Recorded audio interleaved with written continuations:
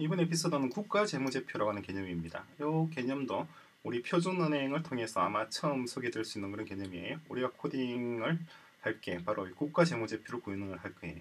무슨 말씀이냐니까 어, 사람이나 자동차 법인 펑션까지도 어, 어느 하나의 지설 독립적인 회계 주체입니다. 그러니까 자동차도 자기 은행 통장을 가지고 자기 자율주행 자동차 같은 경우는 그렇잖아요. 자기 혼자 주행하고 자기 혼자 수리 받으러 가고 자기 혼자 배터리 충전하고 다 하죠. 그죠? 그러면 사람이 없이 자기 혼자 배터리 충전하러 가게 되면 뭔가 충전 요금을 지불해야 되겠죠. 그죠? 사람이 없잖아요. 사람이 없는데 어떻게 하나요? 자동차 스스로가 독립적인 회계 주체로서 자기의 계정을 가지고 자기의 은행 잔고를 가지고 진행할 수가 있죠. 그죠? 그래서 우리 표준은행 코딩할 때는 사람과 사물, 개념들을 전혀 구별하지 않습니다. 심지어 펑션도 어느 하나의 펑션이 자기의 은행, 은행 계좌를 가지고 돈을 지불하고 또 소득을 발생하고 그렇게 구성을 할 거예요. 상당히 재밌겠죠?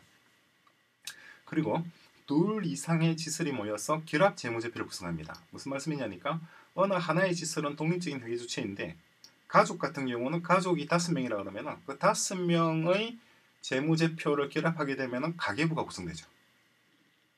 그죠? 기업이라면 어떻게 되나요?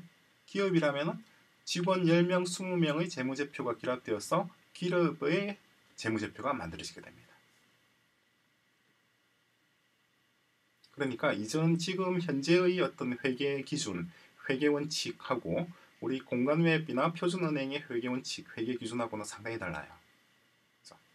이전에 지금 현재의 공인회계사라고 하는 그런 어떤 전문 직종 종사자에 의해서 수행되는 것은 사람이 회계 정보 처리의 주체라는 것 하에서 이루어진 거고 우리 표준은행의 경우에는 사람이 아니에요.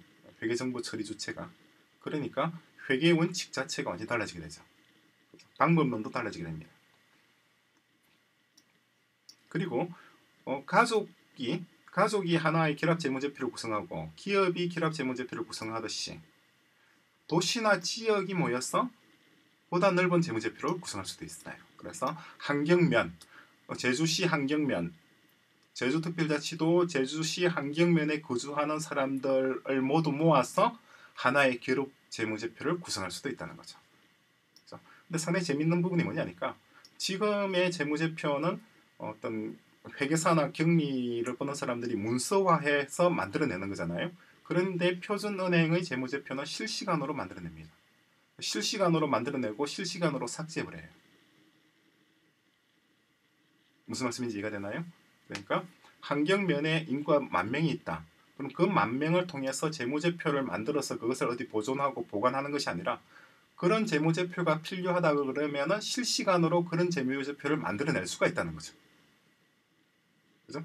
또한 국가 전체, 도시나 지역이 아니라 한국이면 한국, 일본이면 일본 전체의 결합 재무제표도 구성할 수가 있습니다.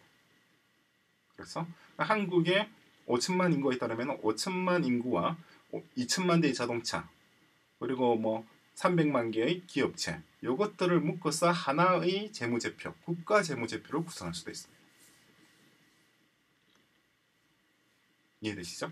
그렇게 함으로 해서 어떤 점이 좋나요? 어떤 점이 좀 두 가지가 있죠. 첫 번째는 기술적인 측면에서 우리 오픈넷시 네트워크에 훨씬 더 튼튼한 위변조 방지 시스템이 구성된다는 것이 한 가지고 두 번째는 국가 재무제표를 통해서 어떤 국가든 굉장히 투명하게 된다는 거죠.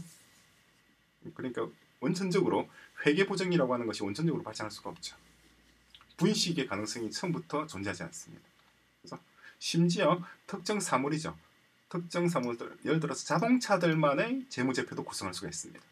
제주도에 있는 어, 버스들만의 재무제표, 제주도에 있는 어, 자가용 승용차들만의 재무제표도 구성이래요. 그래서 어, 제주도에 있는 자가용 승용차가 몇 대이고 그 자산 가치가 현재 얼마이고 어, 이, 어, 한 달에 연료 소비량이 얼마이고 그죠 주행 거리가 얼마이고 수리비가 평균 얼마 나가고 요 모든 것들이 만들어지게 되는 거죠. 요걸 이제 통상으로 말하는 빅데이터라고 얘기하는 거잖아요. 그죠? 그래 따라서 재무제표 기능을 우리 표준은행의 지설의 은행 계좌와 융합하는 거예요.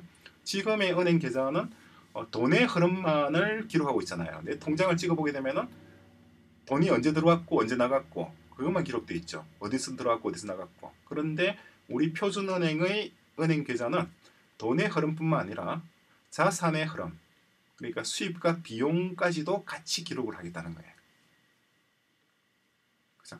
그렇게 함으로 해서 방금 말씀드린 것처럼 훨씬 더 튼튼한 해시 네트워크가 구성되고 두 번째는 빅데이터를 쉽게 구성할 수가 있다는 겁니다.